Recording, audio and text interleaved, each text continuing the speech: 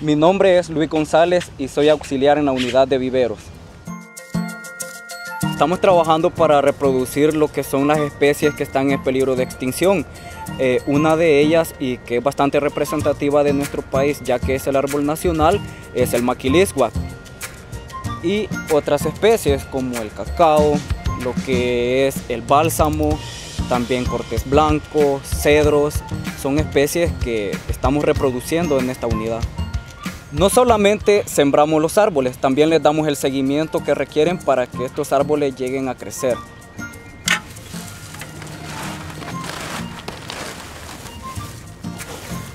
Nosotros como Alcaldía Municipal de Santa Tecla contamos con un programa de reforestación que consta con la siembra de 10.000 árboles para el año 2018 ya que vemos la necesidad en los parques más emblemáticos aquí de nuestra ciudad poderlos embellecer. Muchas empresas nos solicitan árboles para ellas así poder cumplir con su labor social y nosotros encantados los damos porque así son más manos que nos ayudan para cumplir nuestra meta de reforestación.